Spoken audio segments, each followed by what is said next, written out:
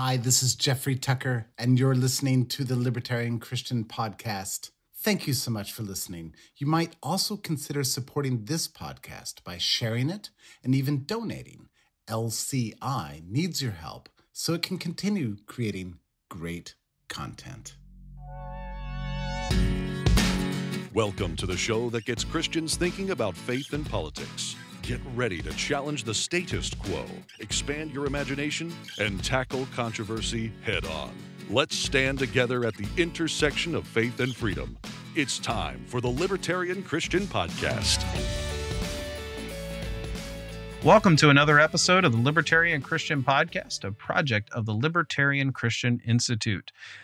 Thank you for joining us for round four of the Libertarian Christian question and response. So last week we we did round three because we um, we solicited ask us anything on social media and we got such a great response uh, we couldn't fit it all into one episode or else some of you would just still be on the elliptical machine uh, exercising or still be on your commute keep driving because you wanted to listen to us. So we had to split it up into two episodes. So this is round four and we're going to jump right in this is we we get this question uh, a lot in our on social media in our Facebook group in certain various aspects where the topic comes up. Grant asks, should Christians be pacifist? And I think we could even answer. I'll add to that: should Christian libertarians be pacifists?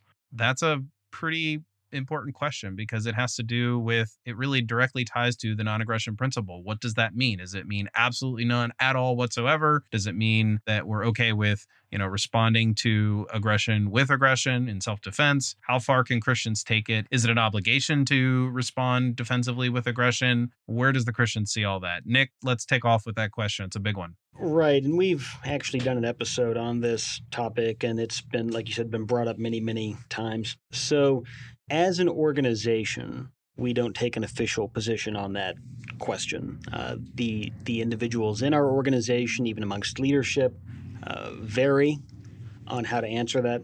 My personal conviction is yes, and that is simply because of the words of Christ, particularly in the Sermon on the Mount, and then exposited further in the Petrine epistles, uh, the Pauline epistles, and the the almost unanimous testimony of the early Christian writers of the first three centuries, all saying uh, yes to that question. So that is where I land on the topic. I try to be generous towards others who who take a different position. Libertarianism, though, is again, as as we've said before, is not an all-encompassing worldview, and it doesn't answer every ethical question. All it does is it gives us a subset of answers from which to answer: Is it permissible to use force in this scenario or not. Now, Christian ethics may cast a broader net than that, that actually ends up saying, well, in some perspectives, it could be taken as permissible, but actually Christ calls you to a higher standard. That's the position I would take. But libertarianism, and specifically the NAP, simply answers the question is it impermissible to use institutionalized force for this purpose. And so the the whole idea of the NAP is that it actually allows for defense. Uh, it does not allow for aggression. I mean, that's right there in the name, the non-aggression principle. But just because something is allowed by the NAP doesn't mean that Christian ethics doesn't call us to a higher standard than what the NAP requires.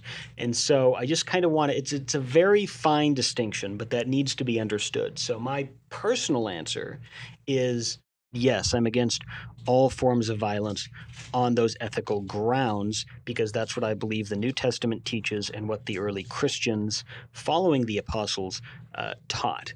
But, you know, frankly, I would be happy if we can just get away from the militarism and the over reliance on our human mechanisms for our defense rather than depending on God, that's a positive step. There's there's a lot more that can be said, and I think we do need to go much further than that. But let's start there. Yeah, it is a good starting point to say, well, we shouldn't actually look to the hands of men to deal with protection and safety and security and things like that. I mean, on a personal level, you know, a lot of people ask, are we a pacifist on on a personal level? And Nick's answered yes. I'm in that camp as well. Uh, I kind of nuance that. I have an article on uh, libertarianchristians.com about kind of my stance on guns. I kind of you know, sort of jokingly say that I'm a gun rights pacifist uh, because I do believe in gun rights. I actually answered that to somebody, and they asked me if I believe in gun, if I believe in gun rights, and I said, "Well, I believe in your right to have a gun." Uh, and he he was almost offended that I wasn't like pro gun use and ownership and like proud to be a gun owner or something like that um, which was very very interesting. Nick was there when that that interaction happened. It was kind of kind of interesting but we as Christians don't have to act in self defense. And I realize this gets into a whole stream of like, well, what does it mean by pacifism? And we can bring up the arguments about what about a would be aggressor and, you know, coming into your house and all that. We're not going to get into that because we've talked about that in other episodes. There's a lot of information out there. Uh, one thing, just as a strategic libertarian point, is it really is funny to me that the left the Christian left, and almost invariably they would identify themselves as sort of Christian pacifist, or they would say that they believe strongly in uh, an ethic of peace. And maybe they don't use the word pacifist, but they'll believe in something that we would call Christian pacifism. Don't see libertarianism as at least a viable or plausible way to be consistently pacifist. I have had arguments with people on the left and they will call themselves pacifist and i will try to call them out on it and say well you're not really a pacifist if you're also endorsing all these other other things that are like really heavy handed state action.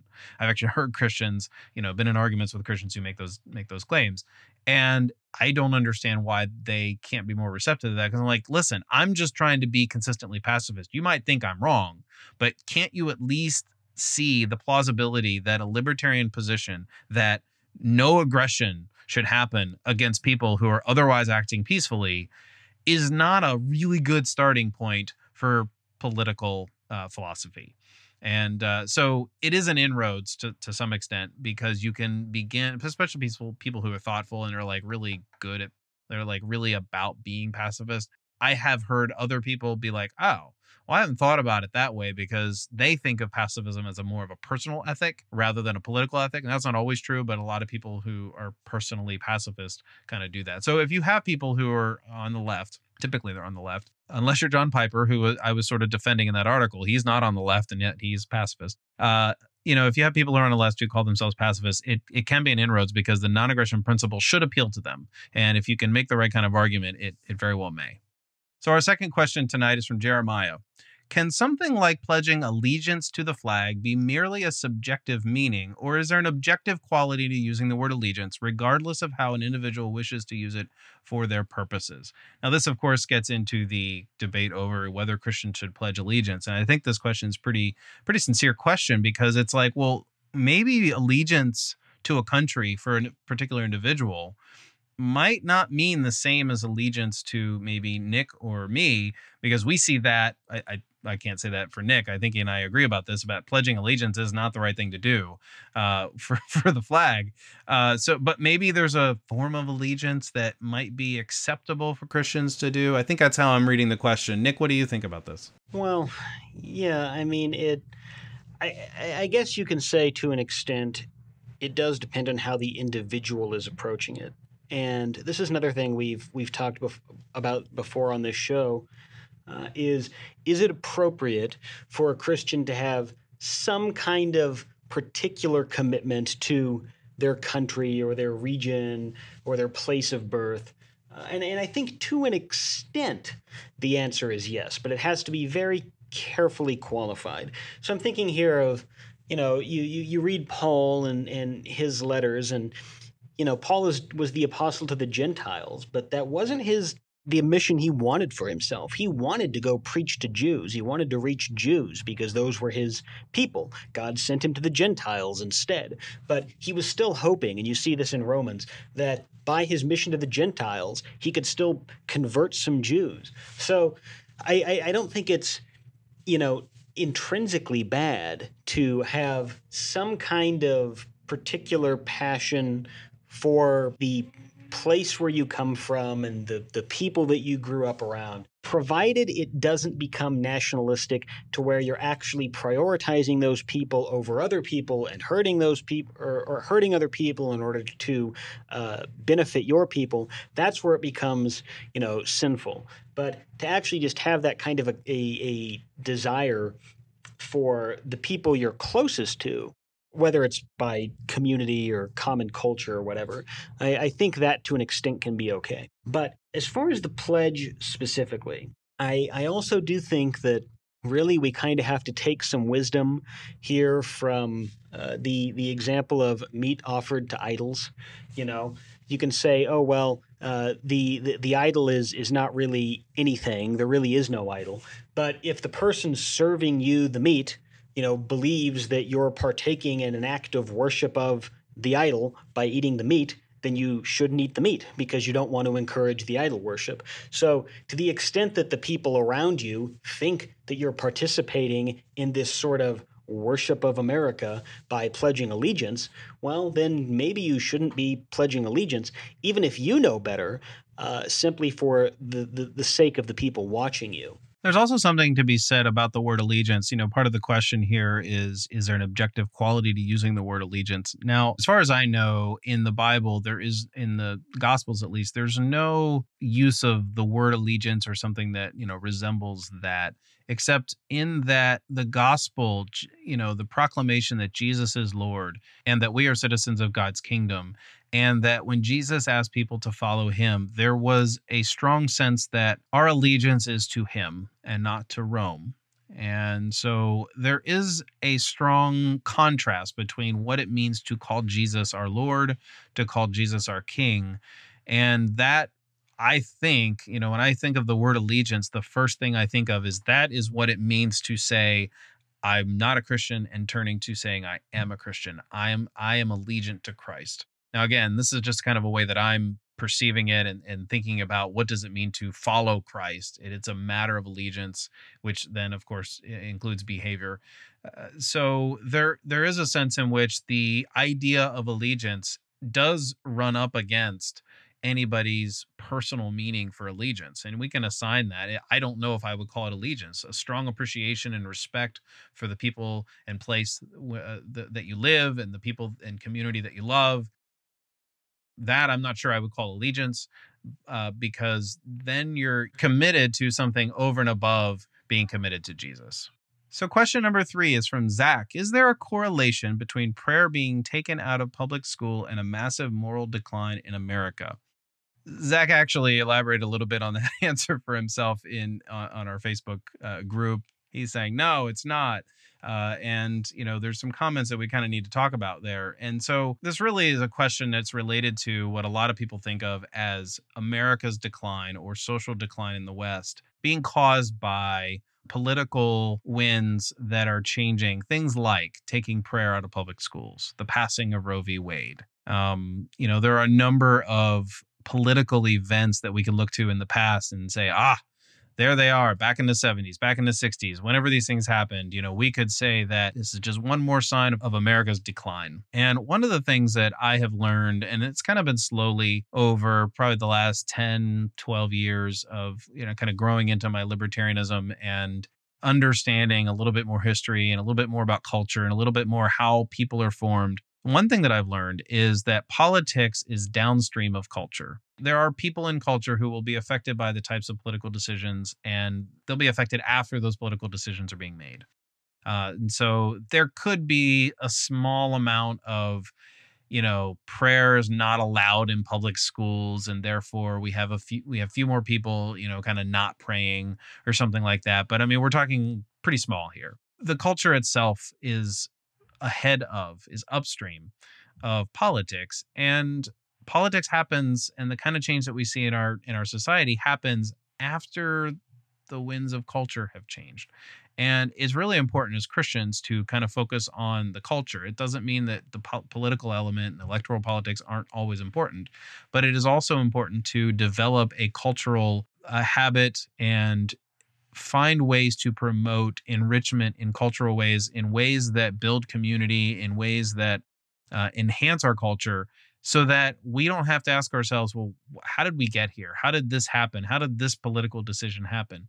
A lot of this stuff is well beyond our reach to say, oh, well, let's go back to this year and the passage of, say, Roe v. Wade and say, oh, well, after that, it just all went downhill. It's very tough to do that. Um, in fact, and I don't have the, the statistics or things off top of my head here, but or within reach, there have been arguments made that certain types of decisions that we would see as negative have had positive consequences later on down the road.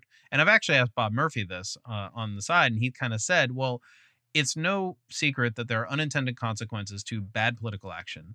So it's also possible that there might be positive secondary consequences to negative political action. So, you know, it's a complicated question. And I think there's more to it. There's no, it just reminds me of Jordan Peterson and Cathy Newman arguing about, you know, single variate uh, he calls them univariate analysis and say, oh, well, here's one thing and here's here's what happened after it. Well, that's ridiculous.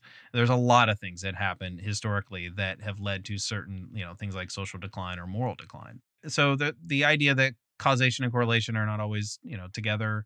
Uh, culture is upstream of politics, or vice versa. There, politics is downstream of culture. I don't look to politics to shape my worldview.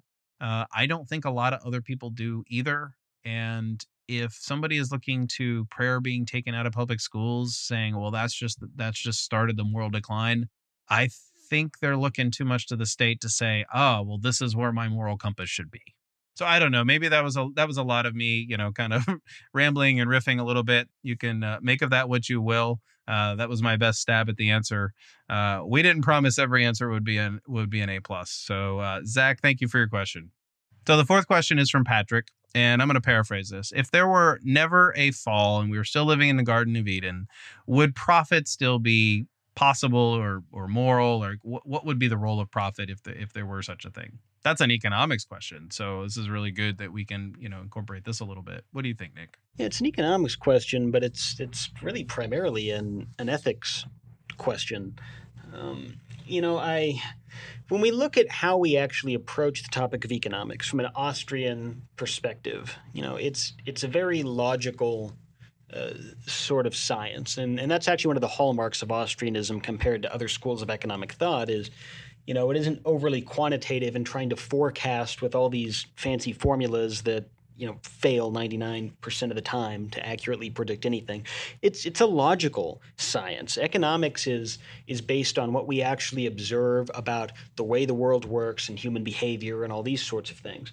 So if we're talking about a pre-fall state you know it there's some sense in which we don't exactly know how it all would work because none of us uh, alive today have ever known a pre-fall state. We have no idea what that you know actually looked like in in, in day-to-day practice. But I w- we know that capitalism is not unethical, that markets are not unethical, that these things and the, the the ethical foundations which lead to these things are affirmed by Christian theology. That's actually one of our sort of core points and core values uh, in our in, in our core value statement as we talk about that is, is these things are affirmed by Christian theology. So I would have to imagine that, you know, all things being equal in a pre-fall state, uh, the the profit motive would would work the same way it does now. Now, again, there's a lot more that could be said there because uh, Christians in particular are are required to be charitable and we're required to love our neighbor and you know you're required to take responsibility for your family and, and for your community and your church community and all these sorts of things and the church is a family ultimately so I mean to that extent there's a higher ethical command you know, pushing Christians towards caring for for the world in general, but especially for one another. Uh, and so, if we're talking about a pre-fall state where everyone's kind of in perfect harmony with God and there's no sin, then obviously that that ethical imperative would still apply. But that doesn't mean that the profit motive wouldn't apply because in a, in a in a sinless state you can still you can still desire to produce things and to profit and to grow and you can still trade. And and I think in in the new earth whatever that looks like and I don't think we can get overly specific on what it'll look like but a big part of it uh, at least if you kind of follow the the line of thinking laid out by N.T. Wright and others, which I happen to on this point, uh, is that really what we're looking at is is renewed humanity in its truest sense. Uh, so it's not otherworldly per se. It's it's the best form of what human society and life was meant to be, and I think that trade and markets are part of that. They just will be or would be unencumbered by sin. Uh, and so that's that's kind of what we're heading towards. And so had there never been a fall, I think it would have looked somewhat similar to that. Yeah, and when I kind of started with like mentioning that was an economics question, I think what I had in mind was the part of the answer that I had in my my head as the way to respond. Nick, I really liked all the thoughts that you had there. That was that was excellent. Is that but but my addition to that would be well, the profit motive is an important thing to talk about, which you did but profit itself is actually a function of how how well are we using resources? And you know we there is the question of like well would there be scarcity in the garden of eden? And do we even need a signal to actually tell us that we're using resources in a wise way? It would probably end up being a little bit different because profit would then be telling us well which resources should we you know be spending our time? Because i mean time in and of itself like if we had an abundance of resources i don't take this kind of view of like the garden of eden where it was just like everybody could be lazy and not do anything or anything like that uh, and we just have abundance without work. Uh, i don't think that's what the garden of eden was was to be like but if we have we have things we have a limit we have a limit on time we have a limit of what we can do and production has its limits. And so we have to have something. There has to be a signal that says well here's what we should do with our time. Here's what we should do with our resources and our skills. Uh, and so profit would have that function as well um, plus all the other wonderful things nick said. Hey folks norman horn here from lci would you do us a quick favor and rank us on apple podcasts or wherever you subscribe to us? High rankings helps us get the word out there. And now let's get back to the show so, our last question is from Andrew, and he asks For many Christian libertarians, our faith informs our politics. How do you answer those outside our faith who insist that the two worlds of religion and politics be kept separate? I really like this question because it actually represents, in some sense, a dilemma for Christians, whether libertarian, left progressive, or right wing conservative. How do we advocate for something that we believe should be. And that is, you know, if we're a libertarian, we believe in either a minimalist, a minimal or no state. If you're a conservative, you believe in a certain type of state that is, I don't know, supposedly minarchist, but kind of intrusive in other ways. And if you're on the left, you believe the state should be highly involved in, you know, almost everything uh, that has to do with human interaction. How do we advocate something that we find personally is in our, you know, like we believe this comes from our personal like you know our walk with Christ or our you know our personal faith in Christianity or any faith for that matter, I guess. Uh, how do we speak into politics without making it a oh well we're using our religion to make political decisions? And I've actually thought about that as well. In fact, I'll um, I'll bring up a scenario here in a few minutes. I kind of wonder about after I let Nick sort of answer. How do you how do you insist that these aren't really in faith informing politics, Nick? There's a fallacy here that typically is, is, is coming from those who who sort of make this claim that oh you can't be mixing your your religion and your politics. That's that's a fallacy insofar as literally everyone who has a political opinion is doing that in some way. Uh, because everyone has a religion, even if you're an atheist, you have a religion. You know, humanism might be your your religion, but it's it's a religion. You're worshiping something. Maybe you're worshiping yourself, or you're worshiping your money, or you're worshiping your uh, sexual adventures, or whatever. I mean, everybody's worshiping something, and everybody has a religion of some type. Atheists may dispute that. I I don't care. It's a fact. So it's a fallacy to say that you know you can't mix your religion and politics because literally everyone is doing that. The question is which ethics should be informing our political theory.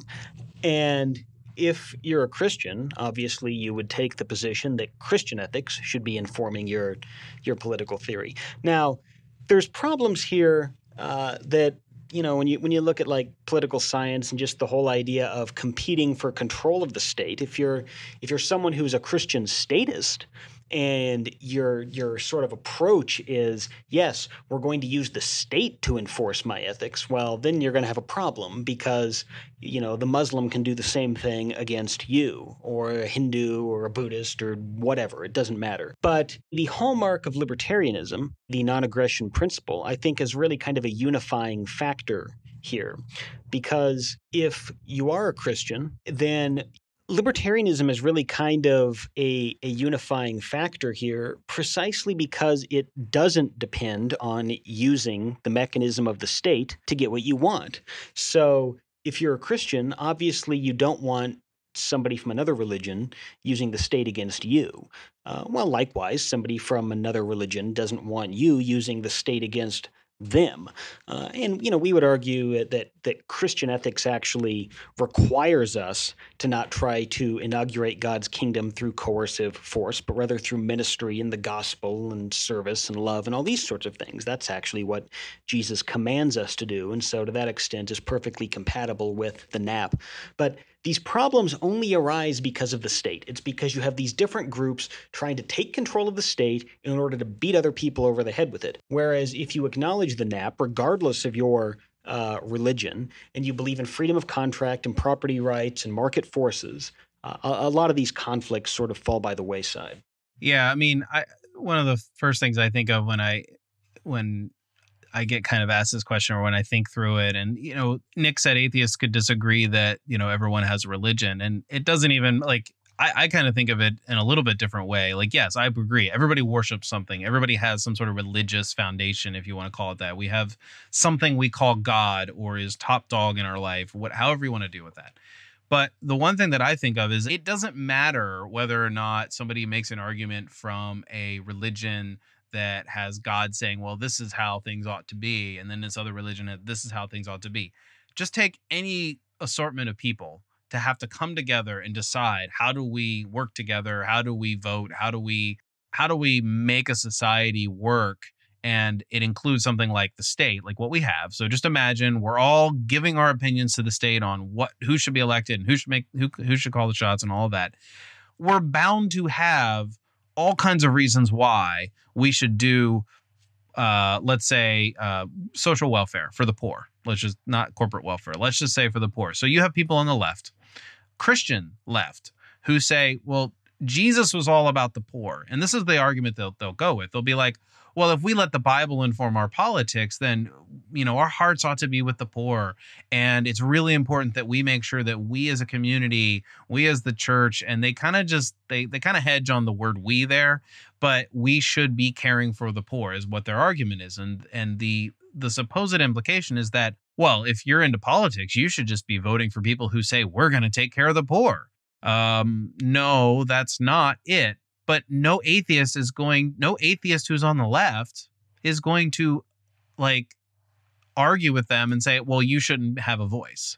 They're not going to say to the leftist well your argument that we should have a state that feeds the poor uh, is based out of your christian religion therefore i should reject it. No they're going to be like oh wow christian look at a christian they're agreeing with me. So atheists if, if we're dealing specifically with atheists they're okay with christians agreeing with the policies that they want when the christian faith kind of aligns with the way that they think it ought to be. But when it doesn't oh separation of church and state or oh religion shouldn't inform politics. This, this drives me nuts when people do this. I actually have wondered and this is kind of the example i was thinking of if donald trump tomorrow morning got on did a press conference and he said that he spent the last 24 hours in prayer. Maybe he was fasting, talked to spiritual advisors, and he decided he was going to do like a 180 on a number of his major platform items because he felt that Jesus was personally speaking to him that the country should welcome immigrants, that the trade war is really stupid, and that we should have open commerce, that all these things, like just list anything that anybody on the left thinks Trump is just horrible at. but he comes to agree with them because he spent time with Jesus in personal devotions. Now, I realize I'm obviously setting up a hypothetical, although, hey, that'd be kind of cool if he spends a lot of time with Jesus personally. I'm cool with that. But do you really think they're going to complain and say, oh, look, separation, oh, nope, separation of church and state, we can't do that? No, they're not going to do that because they don't care about that. They just want people to agree with them. Do you think that's like a far fetched uh, uh, conclusion to draw, Nick? No, I, I, I think in many cases that probably is correct. Um, you know, and it can it can fall on the other side of the sphere as well. I mean, you know, there's again, if we're using atheists as the example, you know, there's atheist conservatives uh, who are very militaristic and you know who are from the neocon wing of the Republican Party, and you know they, I'm they're more than happy to have you know Christians who are very militaristic uh, su- support those endeavors. Uh, so I guess this this can really fall on on kind of any side of the debate. Um, people are going to naturally gravitate towards those who agree with them. Yeah, and I think the one thing that we can kind of kind of end on this this thought is one of the reasons why I think that Christianity and libertarianism are majorly compatible, if not just inherent complements, is that when we read the scriptures, we see over and over again that the way for us to interact with each other is not domination. The way for us to approach any sort of power is to not enable it to have more of its own power to where it can just become its own thing, a state. That any sort of empire is just contrary to God's will and God's kingdom and God's desire for people to uh, to flourish. Empire and human flourishing do not mix. And so, if there's a way that a Christian libertarian has an informed, you know, sort of a biblical Christian informed way of looking at politics, it's essentially the warning political power corrupts. This is not the direction of human flourishing. This is not the will of God that there is a concentrated amount of power in the hands of a few that lord it over everybody else. And so that's the way that my faith informs libertarianism or endorses it, if you will. I don't necessarily have to be like, oh, well, hey, I believe libertarianism because of these Bible verses or something like that. That's not the way that I get there. But I look at that and say, libertarianism is the prophetic voice against unjust power. It can do a better job of it. We can all become better libertarians when we can find all kinds of unjust power, not just in the state. But that is the one thing that I'm like, that's where my Christianity applauds libertarianism is that we are against power that is absolute and able to go so far as to oh my goodness like the last hundred years of just absolute state power has yielded hundreds of millions of death.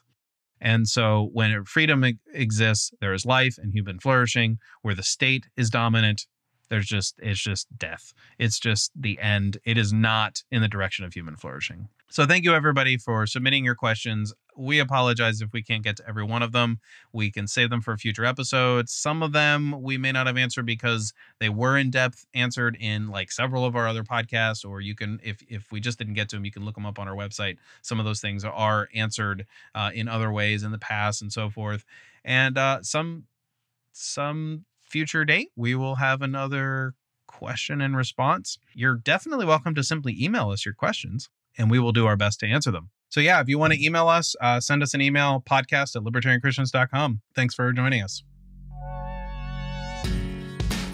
Thank you for listening to another episode of the Libertarian Christian Podcast. If you liked today's episode, we encourage you to rate us on Apple Podcasts to help expand our audience.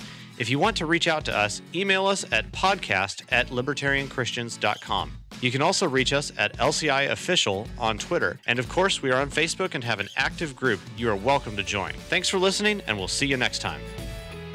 The Libertarian Christian Podcast is a project of the Libertarian Christian Institute, a registered 501c3 nonprofit. The audio engineers were Doug Stewart and Jason Rink, and voiceovers were by Matthew Bellis and Caitlin Horn. If you'd like to find out more about the LCI, please visit us on the web at www.libertarianchristians.com.